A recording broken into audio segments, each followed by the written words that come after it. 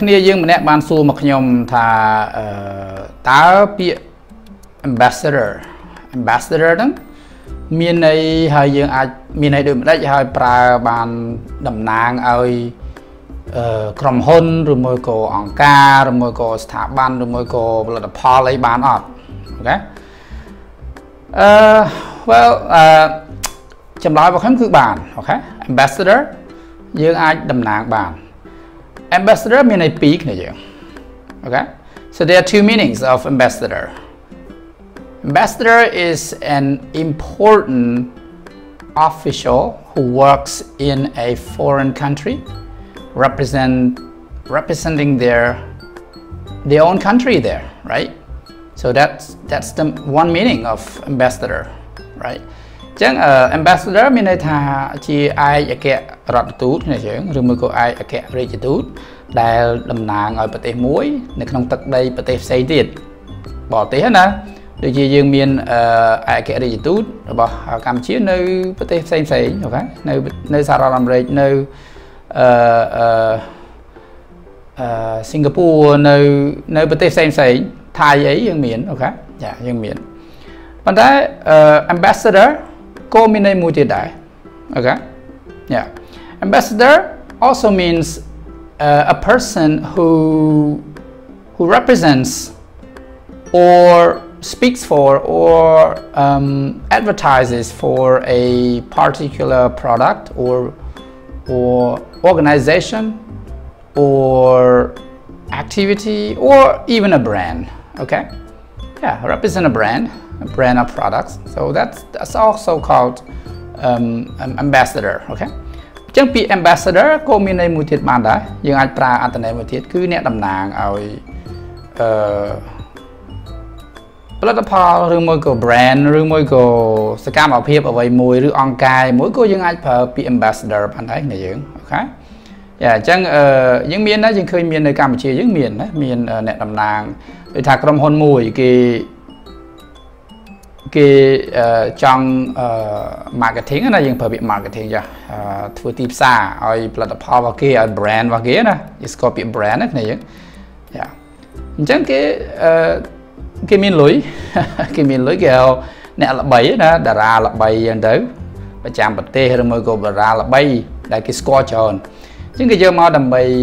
ជួយ promote ជួយ advertise ជួយផ្សព្វផ្សាយនៅផលិតផលរបស់គេហើយគេ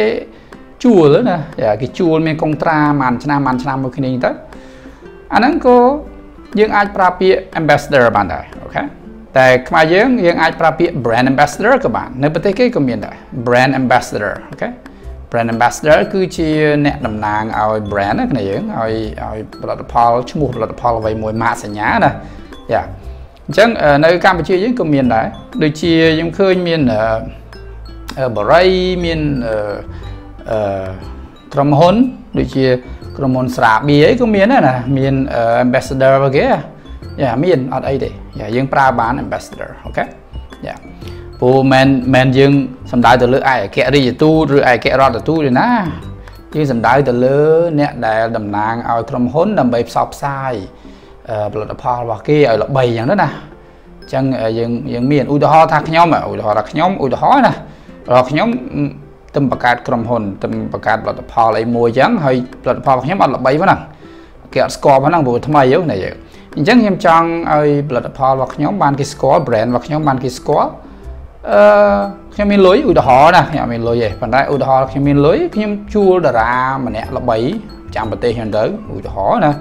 ហើយខ្ញុំជួលគាត់មកធ្វើកិច្ចសន្យាមួយគ្នាធ្វើជា brand ambassador របស់ក្រុមហ៊ុនខ្ញុំជួយផលិតផលជួយលក់ ជួយផ្សព្វផ្សាយផលិតផលរបស់ខ្ញុំដើម្បីគេស្គាល់ដើម្បីគេទុកចិត្តណាគ្នាយើងព្រួយ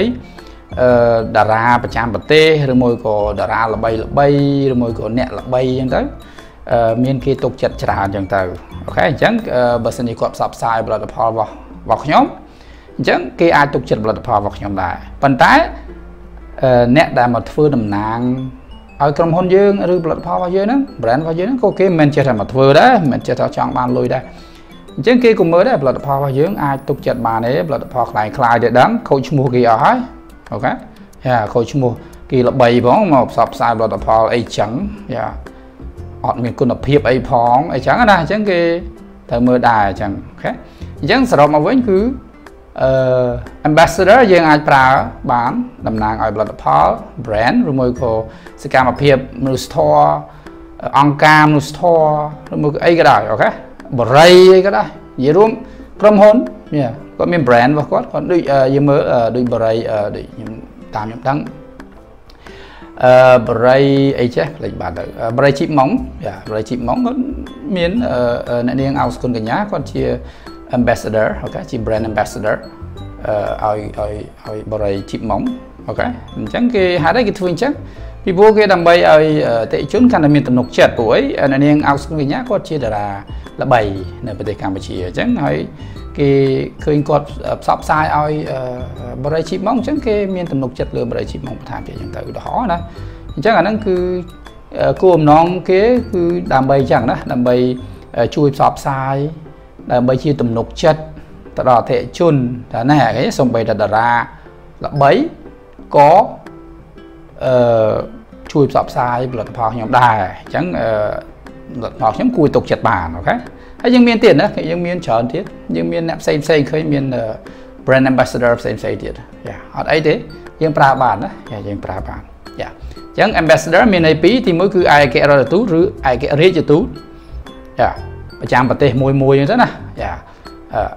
ន័យរបស់វាមួយទៀតគឺអ្នកតំណាងឲ្យក្រុមហ៊ុនឬផលិតផលសេវាកម្មឬមួយក៏ សកម្មភាពអីមួយហ្នឹងទៅអាស្រ័យលើពួកគាត់ចរចាគ្នាអញ្ចឹងអូខេ Alright, so we'll see you in the next video.